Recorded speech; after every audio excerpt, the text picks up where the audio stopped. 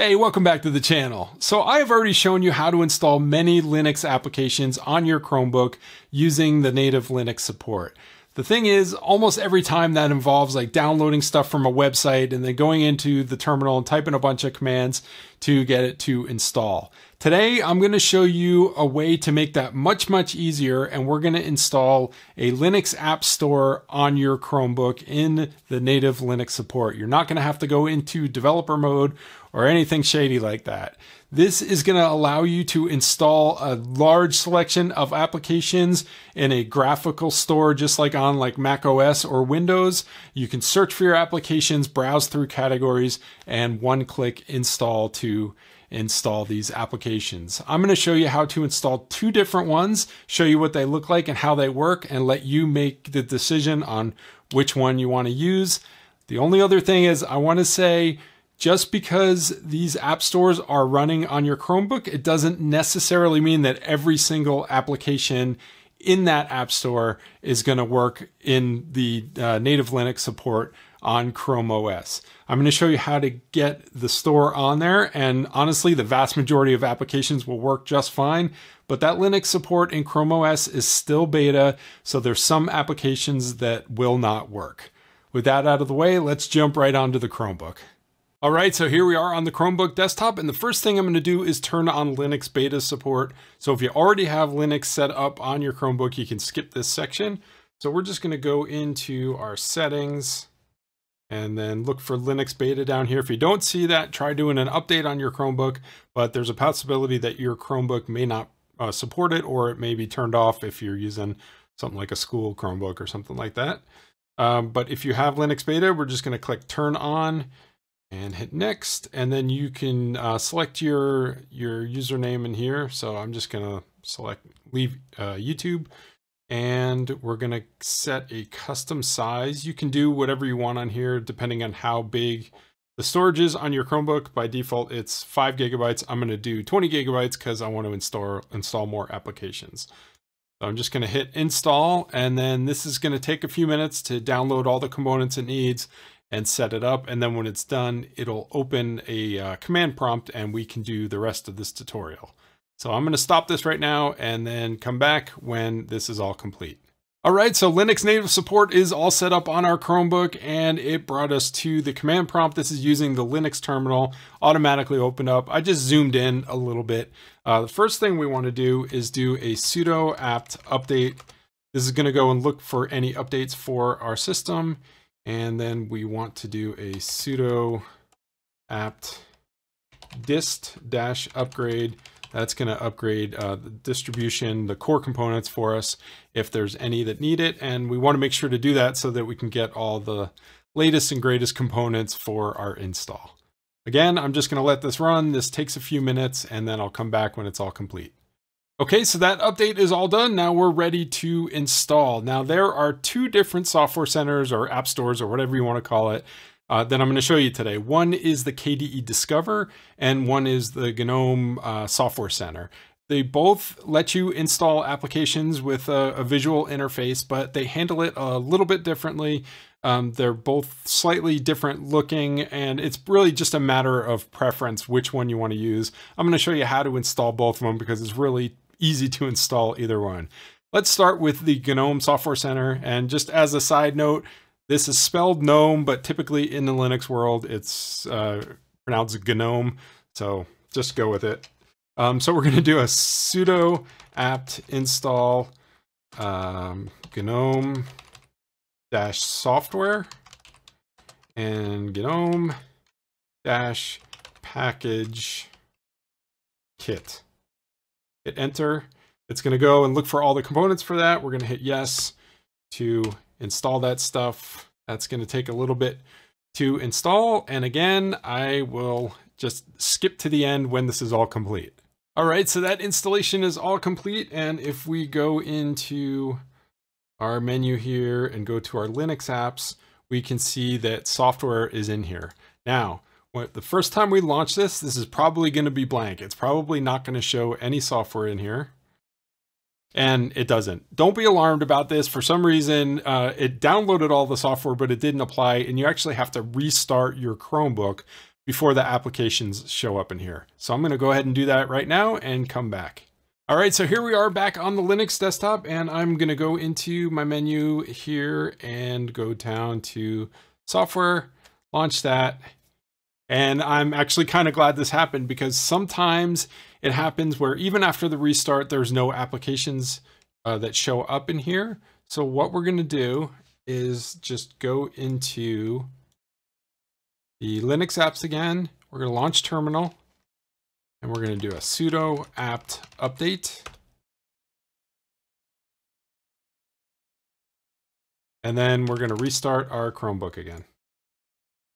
All right, so here we are back on the desktop now. If we go into our Linux apps folder and launch software, give it a second to start up here. So now we can see that it's populated with our applications. Now, sometimes it works with just a restart. Sometimes you have to do the sudo apt update and then restart. So, um, you know, your mileage may vary. So I'm kind of glad that it didn't work the first time in this video so I could show you how to fix it. But anyway, now that we're in here, you can go to these different categories and you can browse for your application um, and then install it. You can search for stuff. So say we wanted to install the uh, GIMP image editing software. We can type in GIMP. Uh, we get the GNU image manipulation program, and then we can just click install right here, and it's going to install it for us. It takes a little while, so I'm probably going to speed up through this, and uh, and then I'll launch it real quick and show you how to install the uh, KDE Discover application store. While this is installing, I wanted to point out one thing. So in this application, it says it's installing, it's at 93%, but it doesn't really give you a good progress bar. When we do Discover, that's one thing you're gonna see is that it gives you much better feedback when you're installing applications. So that's actually one thing that I like better about uh, Discover than I like about the GNOME Software Center. All right, so that is all installed. And as you can see, we can click launch right from the application here, or if we go into our menu again and go to the Linux apps, we can see that it's right here. We can launch it from there and it launches just fine. Now, like I said before at the beginning of the video, just because an application is in this store doesn't mean it's going to install well in Linux on your Chromebook. Not every application works because that Linux support is still kind of in beta and not every application is supported. So now let's go and install the KDE Plasma Discover. Now the way we're going to install the Discover application is very similar to how we installed the GNOME Software Center. We're going to go into our terminal and we are going to do a sudo apt install plasma dash discover.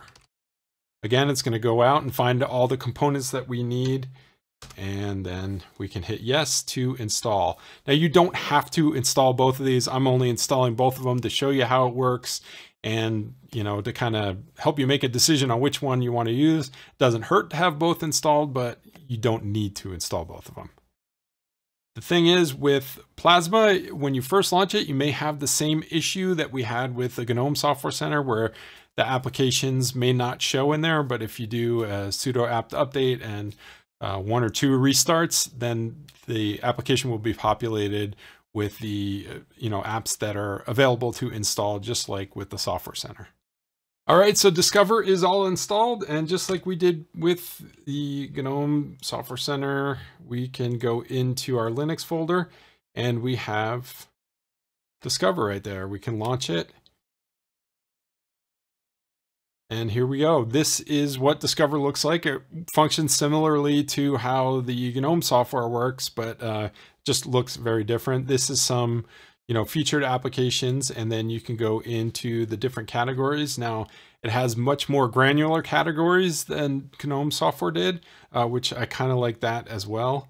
And you can also do a search. So say we wanted to install something like LibreOffice could search for Libre and we see all the different um, applications that have to have Libre in the name or in the description. Uh, so say we want to install Libra Office Writer, we can just click install on that and we can see down in the tasks, it shows the status. Now, this is what I was talking about earlier. This shows you a much more useful status than the GNOME software did. This actually has a ticking taskbar and shows you, you know, how uh, the installation is progressing versus just kind of a taskbar that jumps to different segments. You know, it might go from 0% to 40% in GNOME software where this is kind of a, a real-time ticker. So again, I'll let this run and then uh, just show you what that looks like as well. Again, this is just going to put it into our Linux apps folder. So now that is all installed, but one thing I forgot to show you is if you want more details on any of these things, you can click into them and get the information and uh, you know all the details of the, the package, just as you could in GNOME software. I just forgot to show you that before. And if you go into the installed area, it'll show you all the applications that have been installed and even the ones that you installed with GNOME software. So we can see that we have GIMP in here that we installed with that other application. So we can go into here and we can launch it right from here or, you know, even easier, again, it puts it into the Linux apps folder and we can just launch LibreOffice Writer directly from that icon. And now we get into our word processor and it works just fine. Um, once these applications are installed, it doesn't care how they were installed. So, you know, even though we installed these with two different um, package managers, the, the core install is exactly the same. So there's no problem with launching these applications together. So you can move these and treat them just like Windows. You can do split screen uh, because it's using that native Linux support. Now, which you use is totally up to you. They both function kind of the same. I mean, they, on the back end, they function exactly the same. It's the front end that's a little bit different. My personal preference is Discover just because it gives you a little bit better feedback on what's being installed, but they both work just fine. And again, I want to stress that just because an application is in here does not may, mean it's going to work. I need to stress that because I always get uh, confusion with that. Uh, with when people watch my videos, they assume that when I show them how to install Steam or something like that, all the Steam games are going to run. That's not the case. This is a portal to these applications, but it's still going to depend on the support of your Chromebook. Let me know if you have any questions or comments down in the comment section or ask me on Twitter and Instagram. I'm happy to answer questions on there as well. If you found this useful or informative, please hit that thumbs up. And if you really enjoyed it, please consider subscribing if you haven't done so already. Thanks for stopping by, and I'll see you in the next one.